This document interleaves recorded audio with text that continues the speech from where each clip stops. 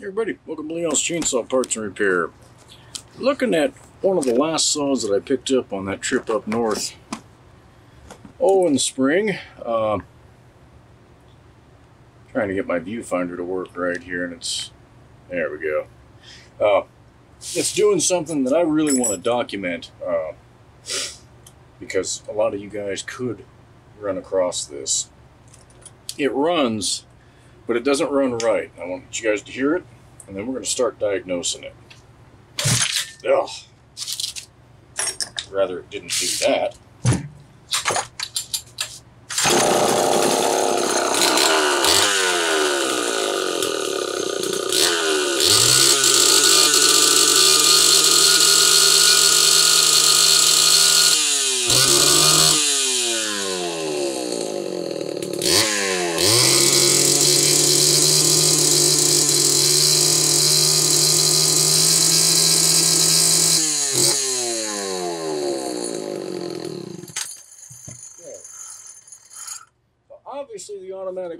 Problem.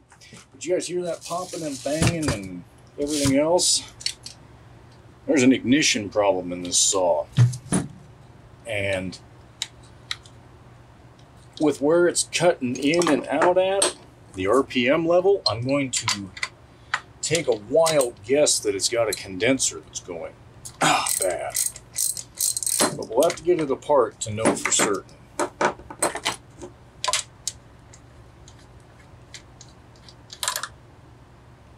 That's a fairly new spark plug. An NGK. Just for grins, let's throw a tester on here and let's see see what she's doing.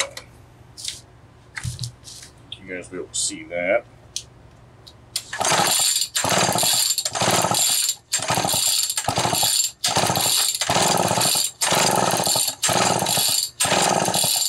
It's a little bit intermittent there it's hard to say. We may have a points issue in here too, but so many times folks will get going on one of these things and really just focus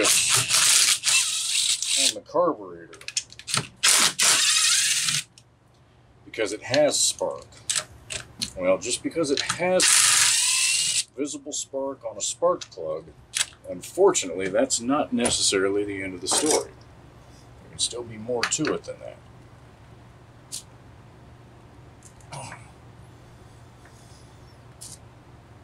I don't like the feel of this one. Wow. I guess it's coming loose, but whoo! I don't like them that tight. Guess it was Loctite.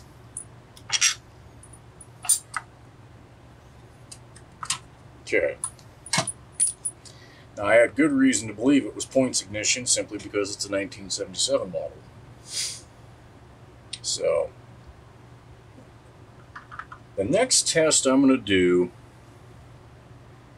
will seem a little bit silly to you, but I want to spin it over in my, with my drill. Because I know roughly how many RPM the drill is turning normally when I get spark in one of these tests. I just know. So I'll turn this so you guys can see. So we'll get this mounted here. Cute. Oh, come on. Oh, yeah. You know, everything's harder on video. All right.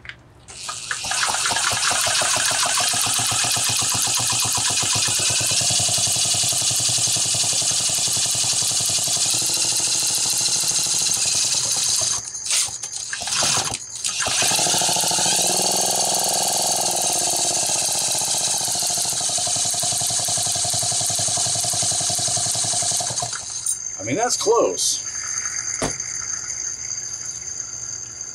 I'd be real tempted to ignore that if I was just doing some testing. That's an honest statement, I would. But hearing how it was running, something was not right in it. So let's figure it out. We'll get this open. First thing, oh, let's try not to do that. Uh, we'll try to get under the hood, so to speak, and check the points themselves. Just see if there's something obvious there that doesn't look quite right. But I've replaced quite a few condensers over the years that the engine would run and sound eerily similar to what this thing was doing. So that's why the minute I heard it, I stopped, got the camera going, and said, "Hey, let's let's document this. So if I'm if I'm correct this time around, you guys will have a little more ammo as you're working with these things."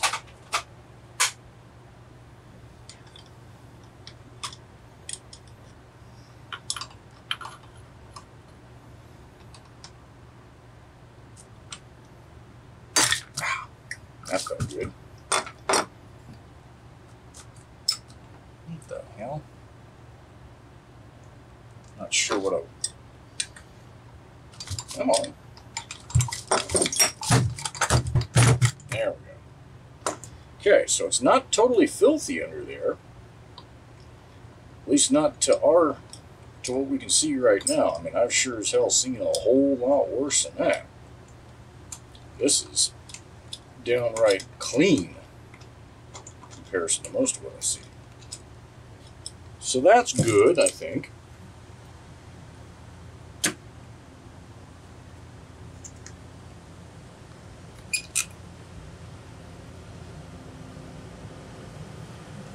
So the points are a little bit dirty Pardon that real noise in the background. Of course, a street sweeper would come by while I'm doing this. Alright, I can't do a whole lot better than that.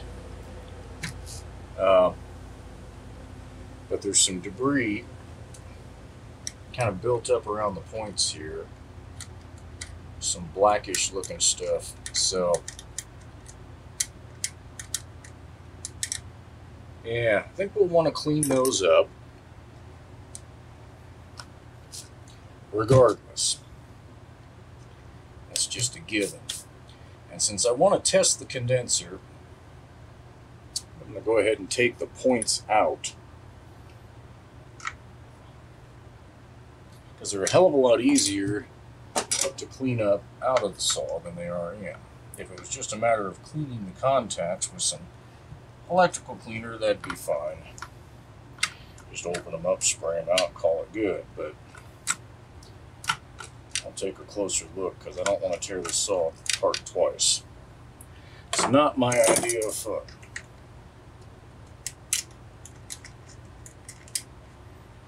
Do it once, do it right, and be done with it. Alright. Since we're taking the points out, you can make your life a little bit easier. You can take that block out you loosen this nut a little bit so it's not got any tension on it. There we go. Points to just pop out with it. And that'll make it easier to get this little nut and lock washer off. And in theory, not do what I just did. I got lucky. It landed where I could see it. That's the whole point. don't want to keep doing what I keep doing, which is losing little items. I'm getting lucky here, but damn. I'm Captain Butterfingers before it's all said and done.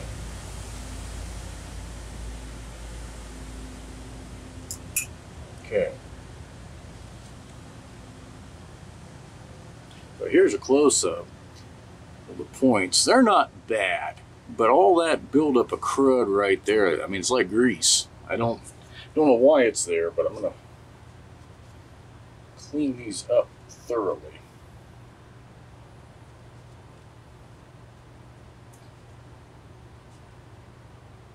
Oh, yeah.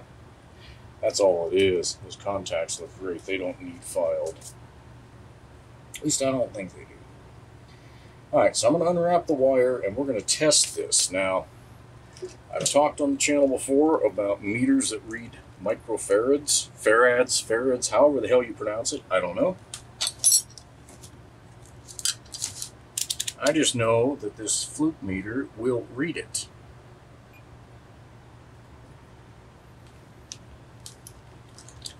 So let's see. You've got to have your condenser disconnected to do this. Now, I'm doing this bass backwards. Not that I think it matters a hell of a lot. All right. I guessed right. So that is reading 262. The way the Homelite book shows it, uh, you need a value of 0.16 to 0.20 on these condensers. This would be a 0.260. So it's out of range. That condenser is getting weak.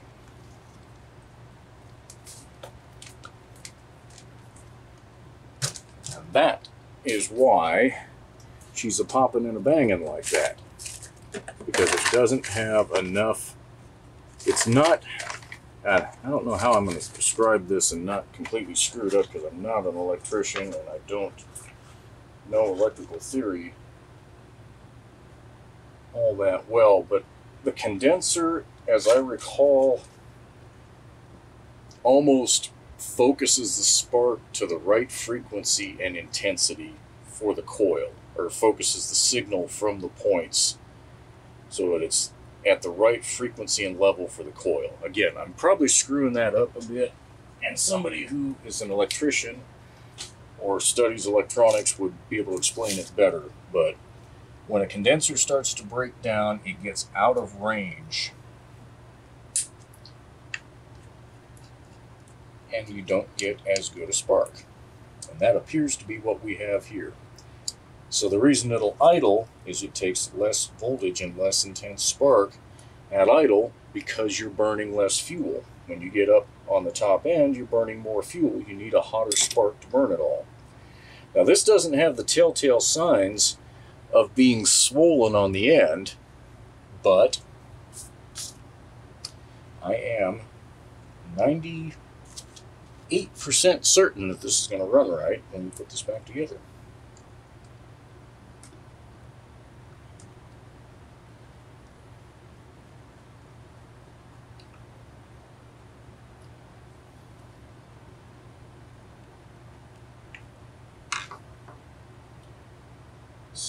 Saw how it was wrapped prior. I'm going to do something similar. That way we don't accidentally someday suck the wiring up into the flywheel. The magnet doesn't grab a hold of it and say, hey, let me chew that up for lunch, because you don't want that. Alright, I'm going to see how bumbling I can be here. these points cleaned off completely. God, uh, those almost look like newer points.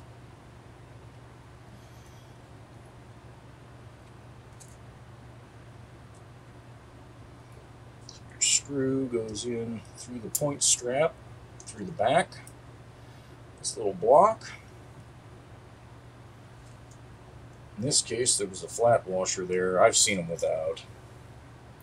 Don't lose any sleep if there's not one there. Okay. I'm trying to hold that screw in place, and for some reason it's being a poo Okay.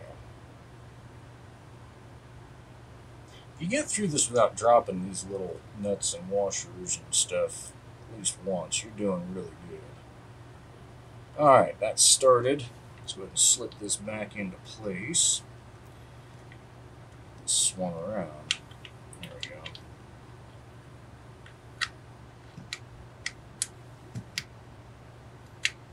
Okay, that dropped in. Let's see if I can get this point screw started without too much. So now the screwdriver is magnetized except when I want it to be. Except when I don't want a screw down flyover and the cylinder fins. All right. We're not going to play nice. We'll do it like that.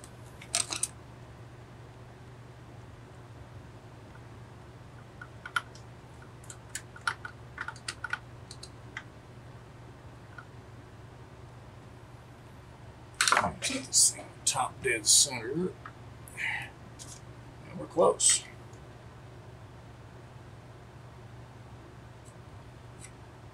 Points should be set at 0.015. That is cast right in the bracket here.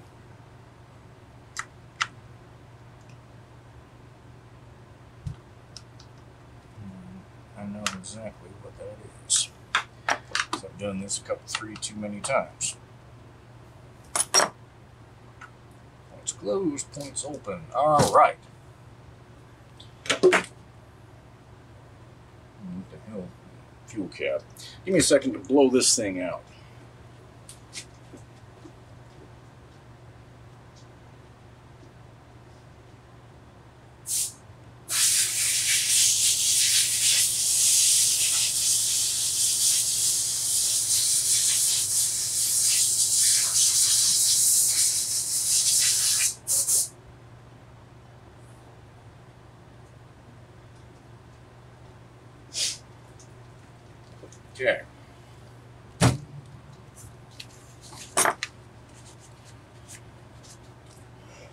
Get this back together, and before we ever even put the starter on, we're going to roll it over with the drill again and just see if anything looks a little better.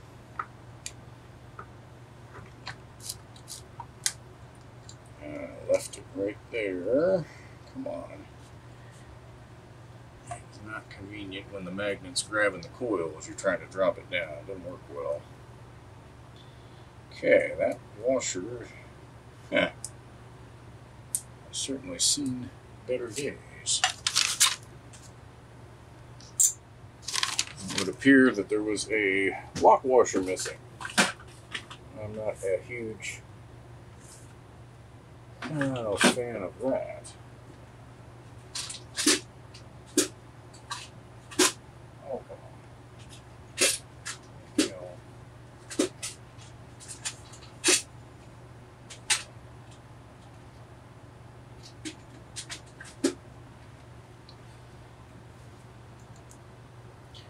We have no need of a flywheel coming loose. There is never any good that comes of that.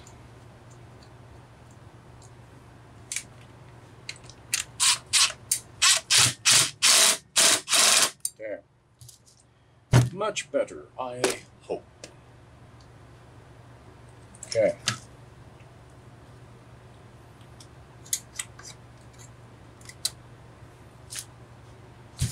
Oh boy, that's going to be a tough angle, but that's the best view of the spark again.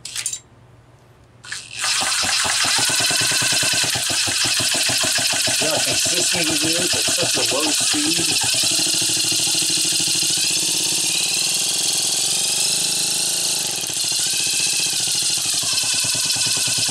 Gives you an idea of what it should look like. We were nowhere close to that before. And again, it's deceiving as hell because if you had just put a spark plug in there and yep, it'll spark. And it will. But it's not enough to have run right. So, let's throw this back together the rest of the way real quick. And we'll do a test run.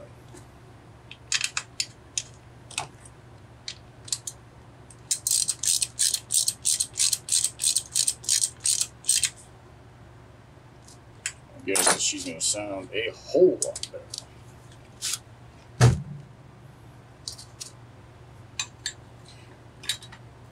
You know, this flywheel screen is easy to say, ah, it's not that important. But if you've got a Super XL style saw, 925, well, actually, it would be the 700s, the earlier ones that don't have a grill on the starter. If you've got that style of saw and you don't have a screen in place and a stick comes up through and gets in the flywheel, guess what's going to happen? And they can, and they do.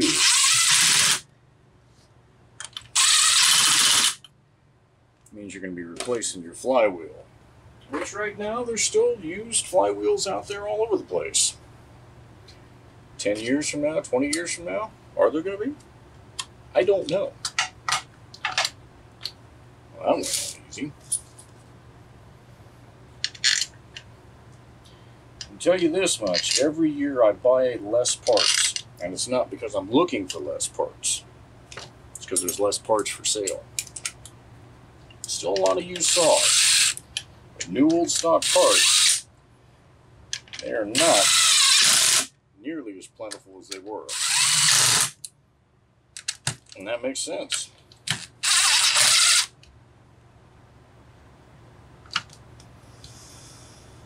Now I know what the goop was.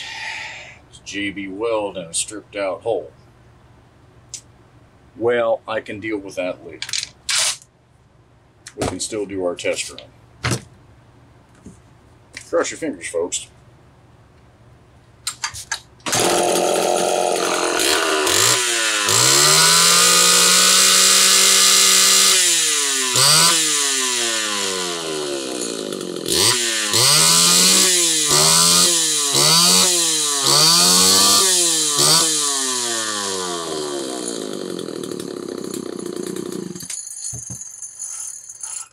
Okay, we got it. Saw is not done by any stretch of the imagination. I still need to go through everything, clean her up, and all that. But that popping from the ignition is long gone. Coil, or ah, condenser, was out of range. So now you guys have something else that you can look for on these as you're diagnosing a weird issue like that. Start looking at the condenser really close.